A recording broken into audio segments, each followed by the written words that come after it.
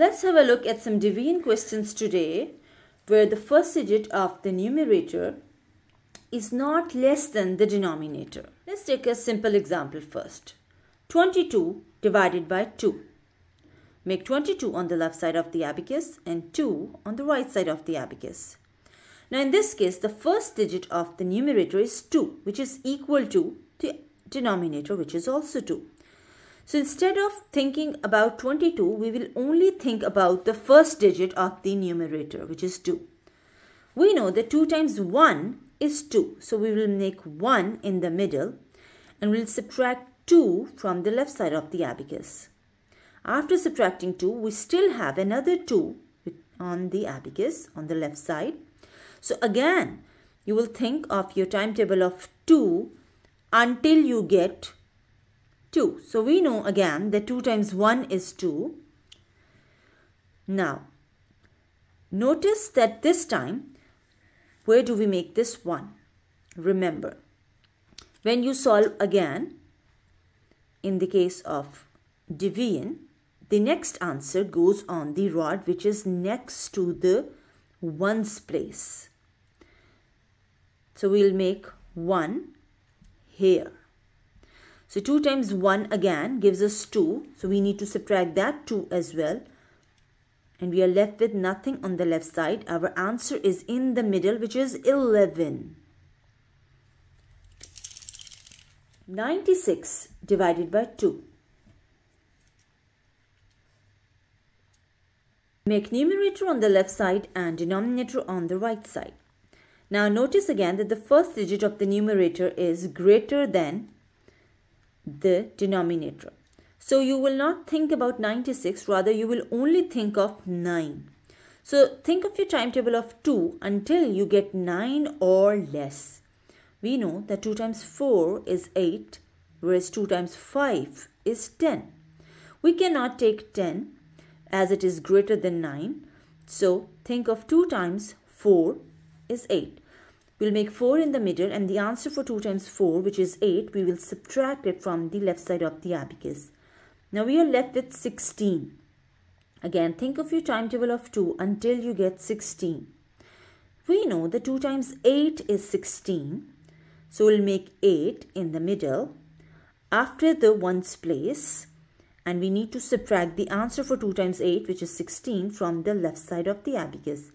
Nothing is left so our question has been fully resolved and our answer is in the middle which is 48.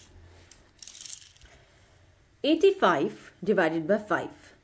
Make numerator on the left side and denominator on the right side. Now again, the first digit of the numerator is greater than the denominator. So only think about 8. Think of your timetable of 5 until you get 8 or less. We know that 5 times 1 is 5, whereas 5 times 2 is 10. So we cannot take 5 times 2. We'll go back to 5 times 1. So we'll make 1 in the middle. And we'll subtract the answer for 5 times 1, which is 5, from the left side of the abacus. Now we are left with 35 on the left side of the abacus. So again, think of your timetable of 5 until you get 35. We know that 5 times 7 is 35. So we'll make 7. Remember where to make 7? On the rod next to the ones place. Not on the tens place rod which we usually use. It is on the other side of the ones place. So 5 times 7 is 35. So answer for 5 times 7 will be subtracted from the left side. We are left with nothing. Answer is in the middle which is 17. 91 divided by 7. Numerator on the left side, denominator on the right side. Again, 9 is greater than 7, so we will only look at 9. 7 times 1 is 7, whereas 7 times 2 is 14. So we cannot take 7 times 2. We'll go back to 7 times 1.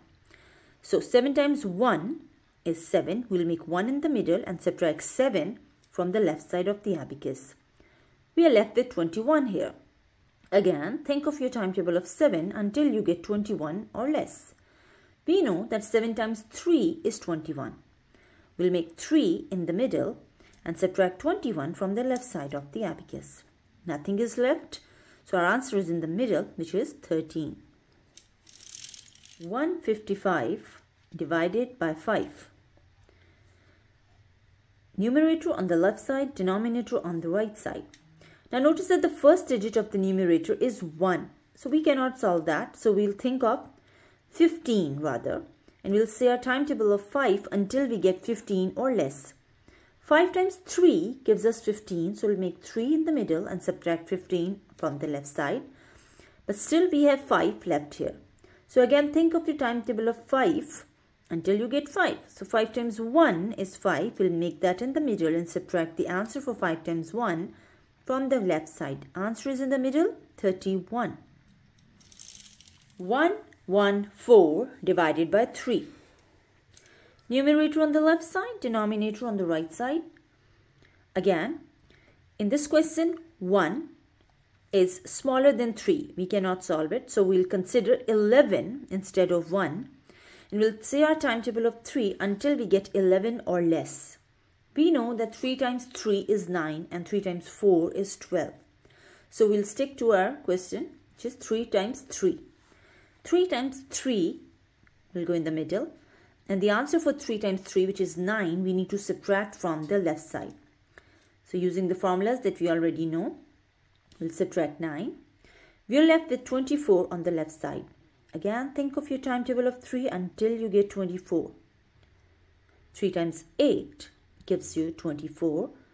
So we'll subtract that from the left side. The, nothing is left on the left side of the abacus and answer is in the middle which is 38.